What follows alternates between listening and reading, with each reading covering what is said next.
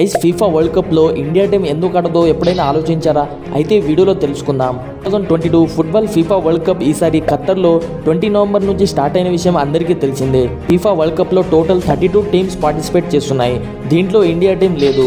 కానీ ఇక్కడ క్వశ్చన్ ఏంటంటే ఈ ఫుట్బాల్ వరల్డ్ కప్లో ఇండియా టీం ఎందుకు ఆడదు? ఎందుకంటే ఈ టోర్నమెంట్ కోసం అసలు క్వాలిఫై అవ్వదు ఇండియా టీం.